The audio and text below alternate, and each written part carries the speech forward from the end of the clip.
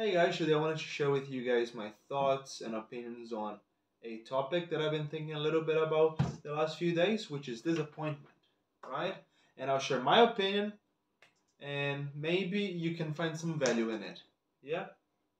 So, uh, for the past maybe two weeks, I've been working on maybe more.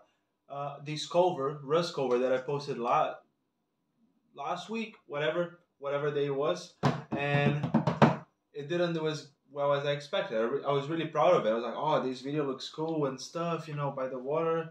The vocals are sounding cool. Uh, I'm happy with it. I didn't have to do a lot of tuning or whatever. And it just didn't do as well. In terms of views, it did well. In terms of performance, not really. If we're cutting the views out of the picture, you know? And sometimes things don't work out like you expect. And I think that's what can differ people that achieve their goals in some aspects and whatever goals that those are and people who give up. Yeah, in life I think it's a lot easier for you to give up on your goals, whether that's finishing university or you being an actor or you being a painter or you being a musician like myself because sometimes you're scared of judgment and what other people might think and what other people say. And I just wanted to say I'm not gonna stop now. A lot of music is coming out, a lot of content is coming out. But I just wanted to just say, uh, in general, I think if you have a goal, whatever that is, you should just stay consistent. It will be worth it. I'm talking about a long journey. I'm not saying it's gonna be quick. I'm talking six years, you know, something like that. I, don't even have music out on Spotify yet. Why should I be discouraged to put myself out there? You know, whatever, it's just numbers. It's a numbers game, but it is a numbers game I gotta learn how to play. And yeah, I don't know if I should be doing more covers, to be honest. Uh, I like doing covers, but when I do covers, it's impossible for you not to be compared to the original artist because it's a cover, you know? And unless you're an amazing singer or you do something different to the cover, you're not gonna stand out. Or it's just gonna be like, okay, yeah, that guy can sing close, or like that guy can, um, you know, it sounds alright, you know. And yeah, I just wanted to share my thoughts on that. Just some quick thoughts on disappointment when you have your expectations broken down. Yesterday I was a little bit upset about it, of course, that's normal.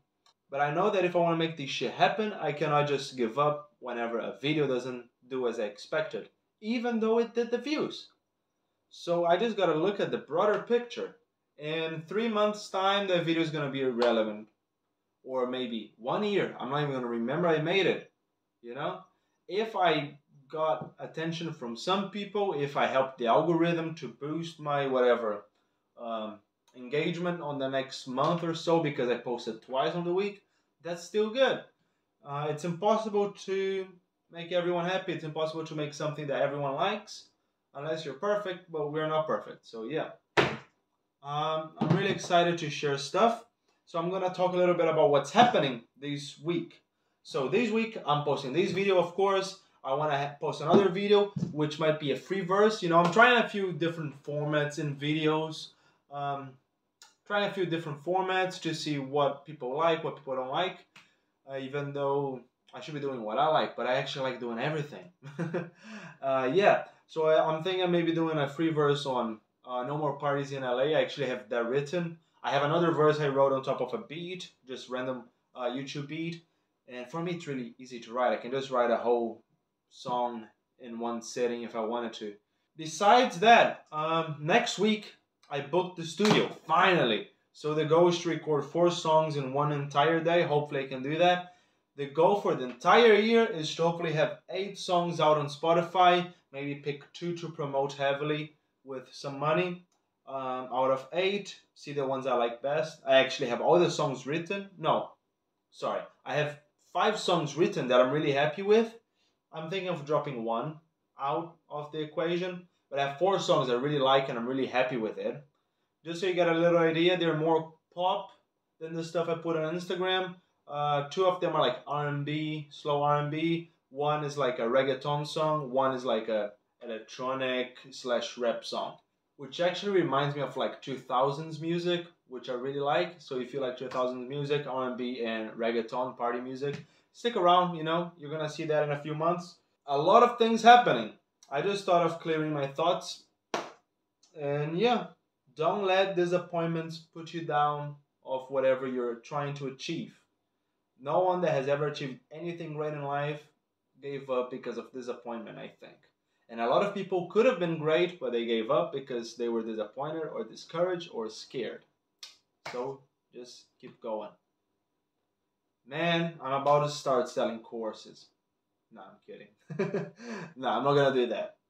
Even though it sounds like a motivational coach speaking, but yeah, just me sharing my thoughts. And it helps me get a clearer picture of the whole thing and my whole career that is starting. It is at the very start of it, and I wanna. I think it will be quite interesting to make videos talking about my thoughts through this journey because it allows you to see the ups and downs. And in the future, when I'm up here on the industry, you know, people are gonna be like, "Oh my god, he has a YouTube channel where he talks about his thoughts, and we can go back to like three years ago, four years ago, and see exactly what he was thinking. Oh my god!